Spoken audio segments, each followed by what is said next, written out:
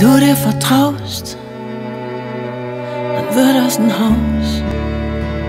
Das wird niemals zu klein sein. Wenn ich mir vertraue, dann wird das ein Haus, in dem ich mich aufrichten kann. Seit fast 40 Jahren macht sie Musik. Christina Lux, mein Gast. Und wir unterhalten uns natürlich auch immer ein bisschen, während die Musik läuft. Und gerade sagte Christina Lux, dieses Lied, wenn wir das live spielen, das kriegt mich jedes Mal.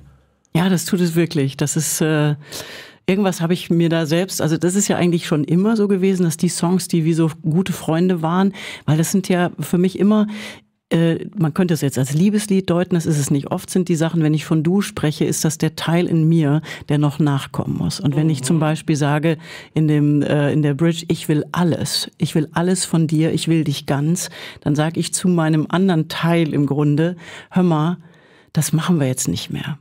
Und wir, wir machen, wir gehen den ganzen Weg. Und das, das mhm. tut sehr, sehr gut, wenn das, wenn ich das immer wieder singe, ist das im Grunde eine wiederholte Affirmation, was total schön ist. Spiritualität? Voll, ja. Also ich glaube, wir haben ja so, so viel verschwurbeltes Kram, das hat alles nichts mit ESO oder sonst wie zu tun, sondern mit dieser sehr, sehr tiefen inneren Anbindung, die ja, der Mensch ist nicht, oft nicht so stark, wie er hofft, dass er wäre. Und das heißt, er sucht sich sehr oft Außenidentifikationen, an denen er sich hält und vergisst manchmal die unglaubliche eigene Kraft, die er hat.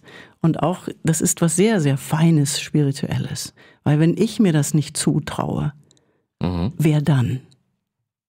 Gegen den verschwurbelten Kram. Das fand ich sehr schön ja. gerade. Ja. Es gibt einen wunderbaren Clip zu dem Song, den Tine Kluth in London gemacht hat. Tine Kluth ist auch Regisseurin bei den ähm, Sean das Schaf Filmen, hat da mitgearbeitet. Wie kam es dazu, dass ihr diesen Clip zusammen gemacht habt. Ja, das war ein Wunder, weil ich habe einen Song gehört von Robert Karl Blank, ein toller Songwriter aus Hamburg. Und der hatte einen Song, der hieß Biplane. Der war animiert. Und das ist das Schöne an diesem, Besondere an diesem Video, dass es ein animiertes Video ist. Und ich habe gesagt, einmal in meinem Leben möchte ich so wie ich einmal in meinem Leben eine Vinyl mindestens wollte, möchte ich gibt ein, es? ja gibt es von, von leise Bilder. Genau, wollte ich ein animiertes Video haben und so habe ich gesagt, okay, wir, wir sprechen kurz. Ich habe Tine angeschrieben und gesagt, ich würde das sehr gern mit dir machen. Ich schicke dir den Song, wenn der was mit dir macht, sag mir Bescheid. Mhm und er machte was mit ihr. Und das ja. war sehr, sehr schön zu sehen. Und so entstanden zwei Figuren. Der eine ist ein kleiner Wanderer. Wir haben ihn auch einen kleinen Astronauten genannt. Inzwischen hat er sogar einen Namen bekommen. Er heißt Bela. Das, ein, das beginnt, in, in dem da ein kleines Häuschen, etwas lustig wackelig da steht, aus dem dieser kleine Wanderer auf Reisen geht, was so sinnbildlich ist für dein Leben, wo du auf Reisen gehst. Ja. Und dann hat er einen kleinen Beutel dabei und sammelt unterwegs immer Dinge und hat Begegnungen. Und irgendwann kommt dieser Moment, wo er so ein bisschen hängen bleibt. Und dann taucht ein Knet aus, aus Knet ein, ein, eine weitere Figur auf. Das ist ein Was Hase. Ja, so wie so ein Sean das Schaf, wie so ein kleiner Knethase, genau. Und der bringt ihn im Grunde durch diesen ganzen Weg und am Ende bauen sie dieses Haus. Also es ist zauberhaft geworden. Es ist für alles, was man an Kinderseele in sich hat, ein Fest. Suchen Sie bei YouTube nach Christina Lux und Haus, um diesen Clip anzuschauen. Heute ist ja der 30. Jahrestag der Wiedervereinigung Deutschlands und äh, Christina Lux weiß noch genau, wo sie vor 30 Jahren war.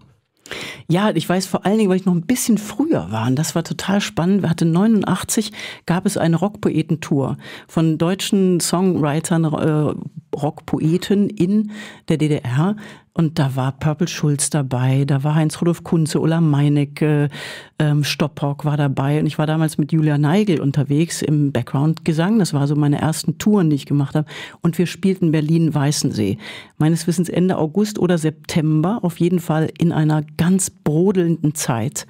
Und ich habe das sehr, sehr intensiv noch im, im Blick, weil ich dann einen Tag später, ich durfte noch einen Tag bleiben, zu Purple Schulz äh, noch auf ein Konzert gegangen bin und er hat wirklich Sehnsucht gesungen.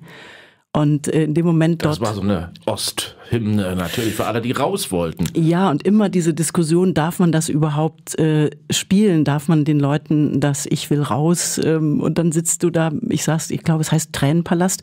Ähm, da saß ich dann inmitten natürlich vieler ostdeutscher Menschen, die da im Brodeln dieser Revolution waren. Das war sehr intensiv. Du hast viel im Osten gespielt schon und äh, bedeutete für dich denn die Wiedervereinigung auch, dass viele Menschen deine Musik hören konnten, die sie vorher nicht hören konnten?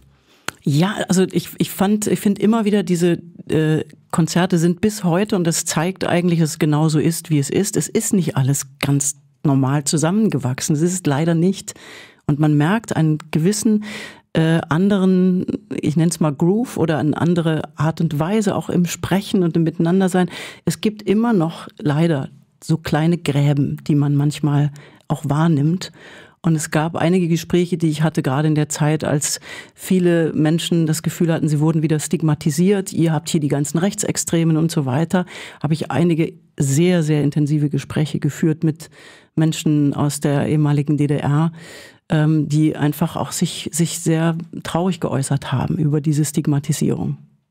Haus heißt die neue Single von Christina Lux. Im Frühjahr erscheint ein neues Album, wo der Song drauf sein wird. Christina Lux, vielen Dank für den Besuch. Sehr, sehr gerne.